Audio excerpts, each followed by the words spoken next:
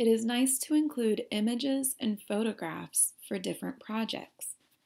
This video will show you how to find images and how to paste them into a Microsoft Word document.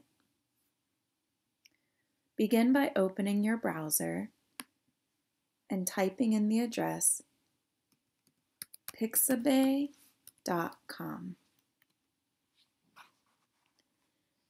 Pixabay allows you to find images that you are allowed to use.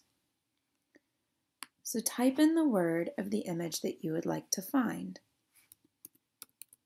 I'm going to search for a tree. When you use Pixabay, it's important to realize that the first row of images are sponsored images. That means that you have to pay in order to use them. So you do not want to use any image in the first row. I'm going to scroll down and select this image of a tree. I've clicked on the image